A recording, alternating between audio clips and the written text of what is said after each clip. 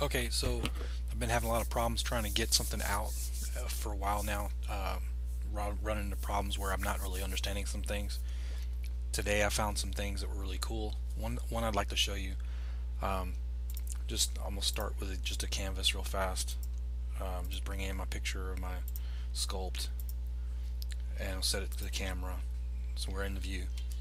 Now in in this view I'm going to go back to object mode. I'm going to add a torus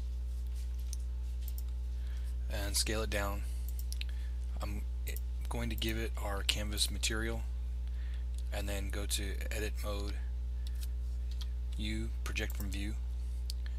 Okay so then texture paint will allow us to paint here. So I'm going to choose a bright color. So now we got this over the top. And that's cool and everything but I, I, I was thinking what if I want to move it around? It's a lot of move if, if I want to move it I'd have to go to tab out to go to object mode I have to move it tab to edit mode then I have to U project from view go back to texture paint and then do it. It's a couple steps and it's not that quick. So I'm trying to figure out ways to make it faster. So uh, let me go ahead and put that there then what I'll do is go to object mode and I'll move it. And by pressing just a reproject we're in there already.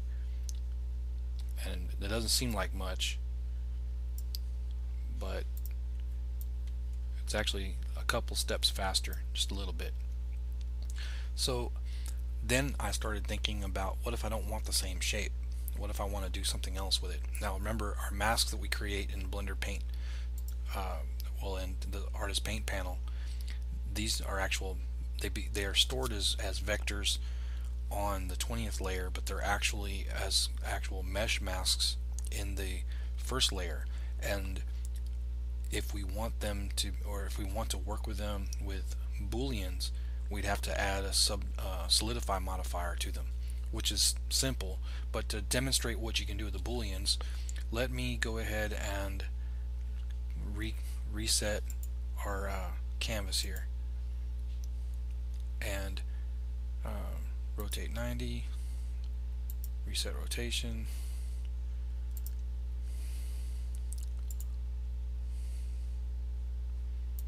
Okay so just to see if I can get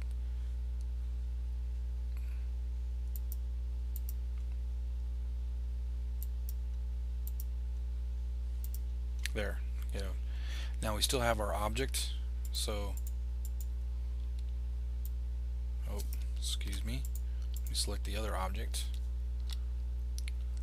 Okay now I'm going to move this so we can see our object. I'm going to roll it this way.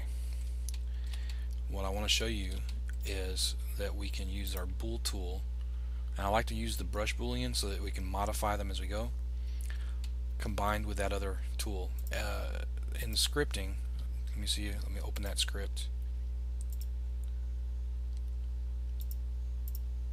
And it's something I want to add to the panel but right now it's very simple. We have just this statement toggles to edit mode. This statement is the UV project from view. Then this statement toggles back uh, from edit mode to object mode and then this statement toggles to text paint. And that's it. That's all it does. So that comes into play when we go back to our actual uh, after our boolean so I like to use the ones that are uh, modified you know you can modify them as you go. So let me see here. I'd go ahead and make a copy of this and I'll bring it out. I'll scale it in Z so I, I want to make sure that I'm fully encompassing our mesh here. I'm going to shift select my original one and press difference and then what I want to do was with this one selected I want to press the reproject from view which should have done that from here. There you go. And we're in texture paint. So now voila. We have a modified object or a modified mask. And if we go back to object mode we can select both both of them move it here and then just select our our other piece and you can kind of see where you're going with this right? I'll move this and then I'll reselect the the main object not the brush not the boolean brush. Hit reproject and now I've got a modified but I didn't actually kill my mesh object or I didn't modify it without the ability to come back and change it. So this is a really cool application of the bool tool. Um, and like I said we can do this with the, the curves. Let me just show you an example of how you can use those but we'll go with just file new so I get a new clean workspace. What I mean is if we have a curved circle and we create it 2D so this is like our mask that we initially drew.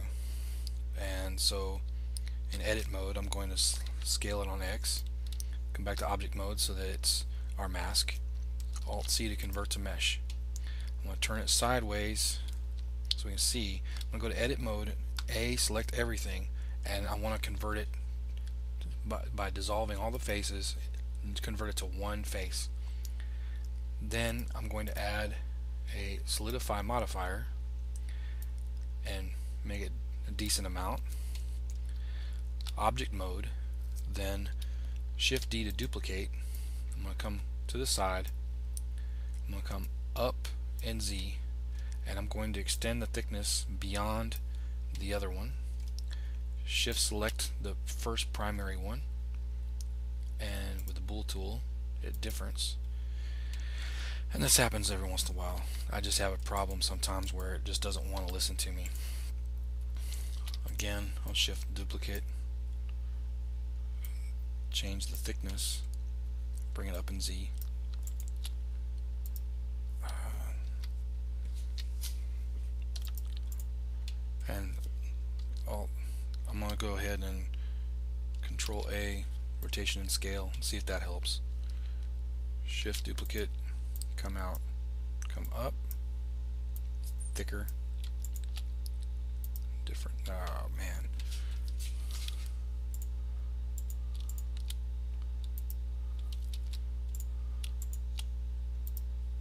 It's not working.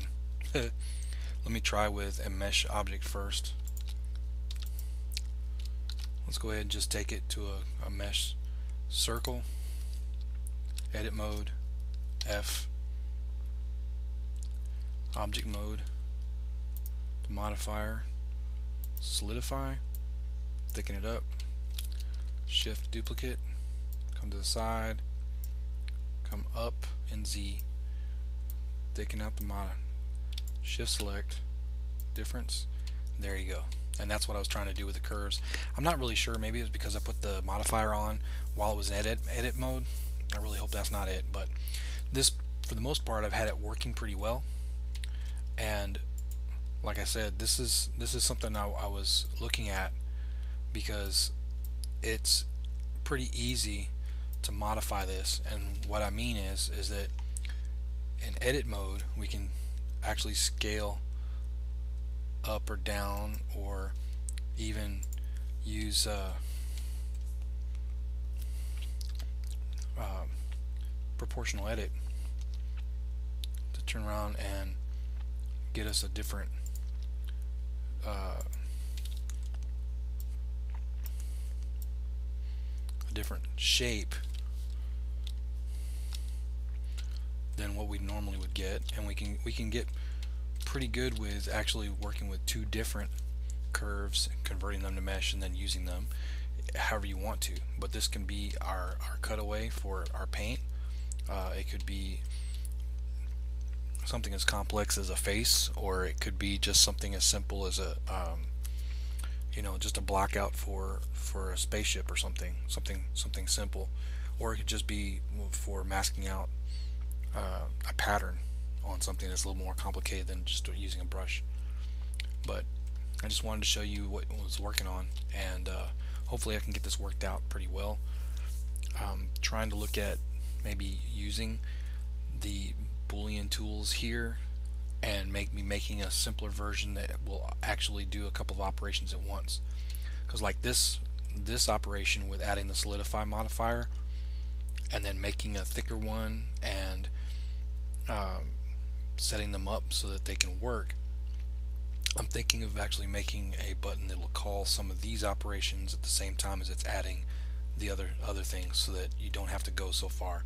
So maybe maybe after you've made the vector contour you know you can have another section here where we can uh, add the the thickness and then, have some uh, simple icons that call the bools after they're they're selected. So instead of instead of the whole panel here like this maybe just bring these in as uh, buttons just right underneath there.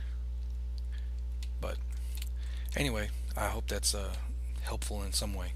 Thanks a lot. Talk to you guys later